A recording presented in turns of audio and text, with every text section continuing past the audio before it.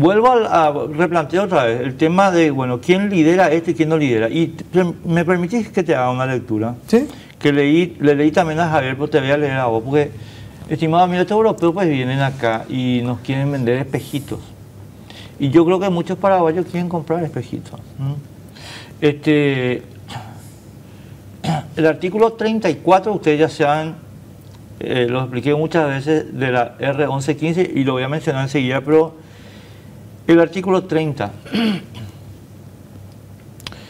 La cooperación europea para la plena participación se viabilizará a través del sector privado, las asociaciones cooperación, eh, diálogo inclusivo, participativo, y escuchen bien esto, porque esto es lo importante. Eh, Carlos, escucha esto. ¿Qué diálogo quiere Europa? ¿Qué diálogo es el que alienta con los 10 millones de euros? Artículo 30 de la R1115. ¿eh? No estoy leyendo mi columna de opinión ni el editorial de ABC, no, estoy leyendo la ley R1115. Artículo 30. ¿Qué es lo que apoya la Unión Europea con los 10 millones que le están dando a Rediex? Procesos nacionales de reforma jurídica y de gobernanza con el fin de mejorar la gobernanza forestal y hacer frente a los factores nacionales que contribuyen a la deforestación. Es decir, les pagamos para que ustedes hagan lo que nosotros ordenamos. Punto, ese es el punto 2. El punto 3, las asociaciones promoverán el desarrollo de procesos integrales de ordenación del territorio, de la adopción de legislación pertinente, o sea, europea, en los países productores. O sea, y el artículo 34 dice, la comisión se reserva el derecho de ejercer el poder de policía en los países que firmen este acuerdo. O sea, que, que incorporen la ONU. Entonces, mi querido Carlos, la idea de que la R1115 es una norma para privados paraguayos que negocian es mentira. Eso no dice la ley. Eso no está en la ley. Eso es propaganda pura, para engañarnos, para anestesiarnos.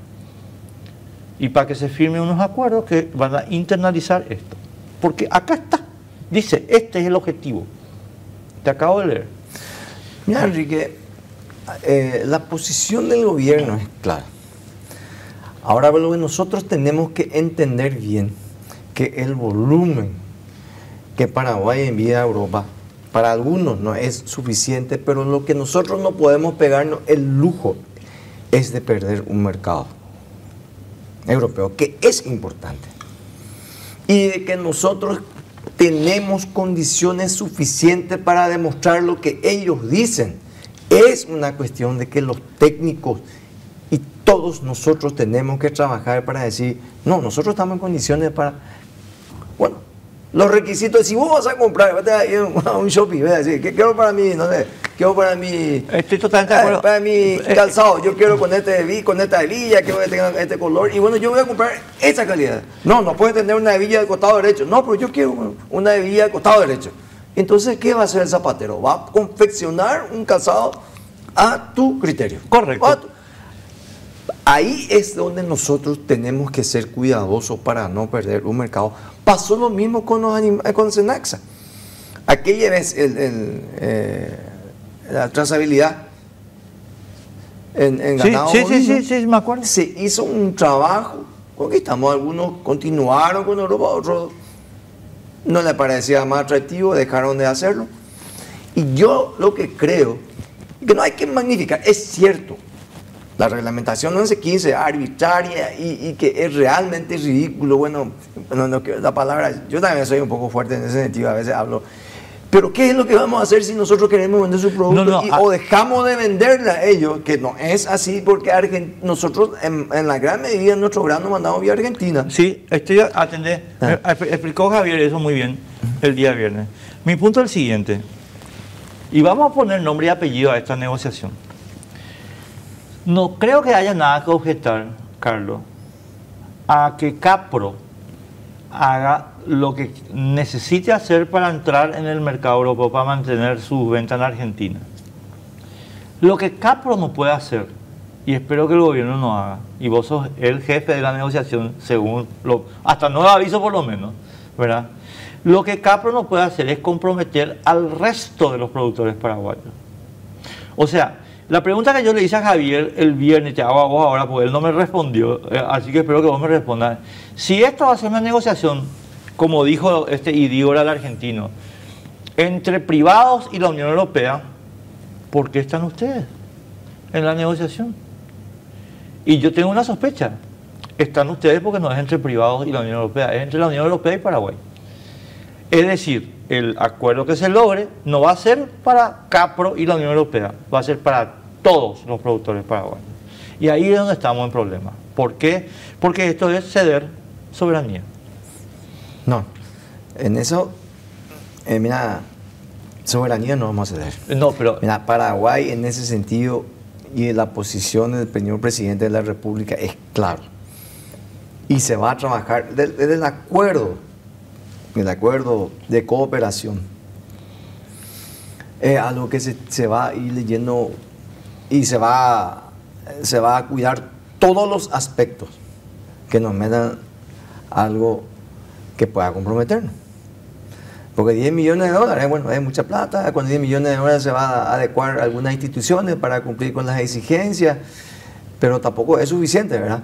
No, pero... Pero lo importante es que eh, están los técnicos y que nosotros evaluamos. No, no crea que es fácil también eh, las conversaciones que nosotros tenemos en mesa de Cancillería, ¿verdad? Pues tenemos posiciones fuertes en ese sentido de que nosotros tenemos que cuidar todo lo que nos pueda comprometer a nuestro país, nosotros tenemos que estar celosos custodios en todo momento. Y yo te puedo asegurar, Enrique, que todos los ministros, eh, Javier, Carlos Jiménez y, todo lo que conforma el sistema MAC, todos nosotros estamos atentos y cuidadosos a lo que es una reglamentación que nosotros lastimosamente si queremos vender nuestro producto no vamos a tener que adecuar. Pero ah, que se adecuen los que quieren. O sea, Capro, ustedes adecuen. Sí, sí. Pero ¿para qué entonces le quieren hacer firmar al gobierno el acuerdo? Esa es la parte que a mí no ¿Cuál me acuerdo? El acuerdo que están negociando, porque Javier me contó que ahora ustedes mandaron un borrador que tiene la firma de cuatro ministros. No. Se mandó un borrador a la Unión Europea. No. ¿Cómo es el tema? No, no. Yo no acuerdo haber firmado. ¿Eh? Desde que tres menos yo en la, en, en, en la negociación nunca firmé ningún documento que se vaya, que se envíe a... O bueno, que se envíe un borrador. No, no, no.